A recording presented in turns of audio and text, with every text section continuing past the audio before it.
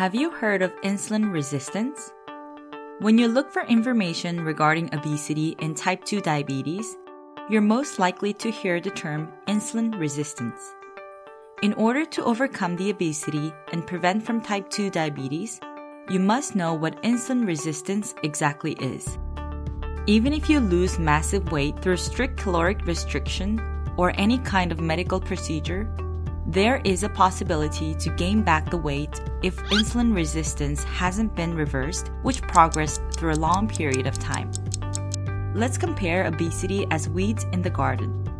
If you just simply cut the weeds in order to make the garden look nice, it'll sure look nice for a bit. However, weeds will grow back soon. This is why you should eradicate weeds rather than just cutting them off. Now, let's think of this as our body. We can, of course, lose weight with an extreme caloric restriction or a medical procedure. But is this really the genuine solution to obesity? What'll happen once you stop this extreme diet or medicine intake? You'll, of course, gain back the weight you have lost, sometimes even more. There may be some of you who would think like this Can I just take the diet pills for the rest of my life and maintain my weight then?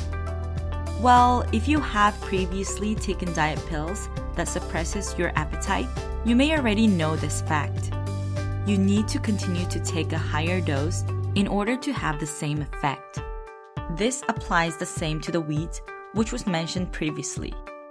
In the beginning, a small amount of herbicide will kill the weeds, but if this continues, Weeds that are resistant to the herbicide will grow, and eventually a stronger or larger amount of herbicide will be needed. Therefore, you should make sure to eradicate the main root cause in order to prevent from same things happening again and again. In this case, insulin resistance must be reversed in order to eradicate the root cause of obesity and type 2 diabetes. First, don't forget to click the subscribe button and the little bell to be the first one to find out my new videos. Shall we now look at what insulin resistance is? When you eat food with carbohydrates, your digestive system breaks down the carbohydrates and changes them into glucose.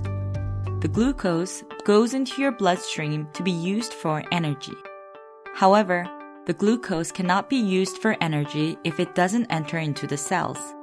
Therefore, insulin acts as a key to open the door of the cells for glucose to enter. As what was just explained, glucose should enter into the cells to be used for energy with the help of insulin. But when you have insulin resistance, the gates of the cells does not open easily as they resist to insulin. Since the glucose cannot enter into the cells and remain in the blood, the blood sugar level remains high and therefore stimulates more insulin release. But if more insulin is released, this eventually worsens the insulin resistance and trap you in a vicious circle. Let's take antibiotics as an example. When antibiotics are first used, they can be powerful at fighting infections. However, if you continuously overuse them, you will end up needing more and more antibiotics, or maybe they'll not work at all. Likewise, you would need much more insulin in order to do its job as the insulin sensitivity deteriorates over the period of time. In a study with 15 healthy participants, four days of continuously having high insulin levels caused 20 to 40% decrease in insulin sensitivity. This means that more insulin has to be released in order to process the blood sugar. Let me give you an easy example. Let's say that you go into a bathtub to take a bath. You will first feel the water too hot to even get in. But how would you feel after a while? You would soon get used to the temperature and might even think that it's not hot enough for you, and you might turn on more hot water. Likewise, glucose would have went into the cells with the help of small amount of insulin when you were young and healthy. But just like your body getting used to the water temperature in the bathtub, your body may need more insulin release as your cell doesn't react sensitively to insulin anymore. What would happen next? Excessive amount of insulin will lower the insulin sensitivity more and you would need even more insulin to push the glucose into your cells. Then, what can you do to reverse the insulin resistance and improve your insulin sensitivity? Just like many other illnesses, there isn't any one particular method to this, but you can surely improve your insulin sensitivity by changing your diet and lifestyle.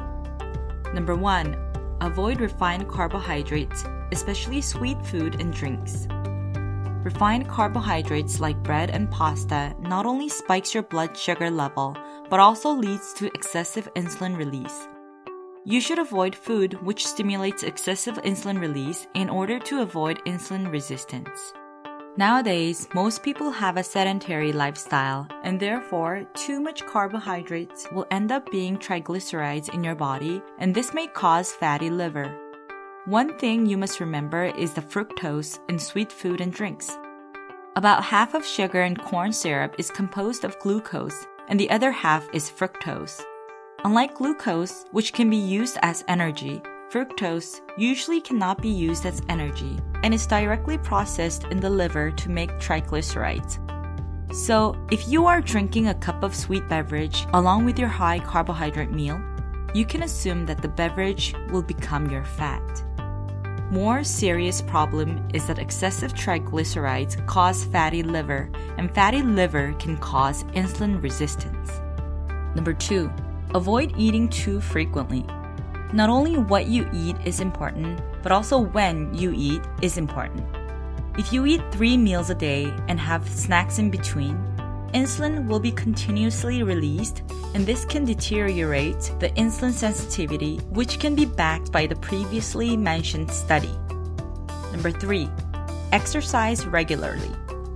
There was a study which shows improvements of insulin sensitivity in non insulin dependent diabetics after one single bout of exercise. Exercising is not just recommended for weight loss by burning calories. It helps to control blood sugar by improving insulin sensitivity, and this is why exercising is recommended to type 2 diabetics. Number 4. Get more sleep. According to one study with healthy men and women, just a single night of having only 4 hours of sleep induced insulin resistance.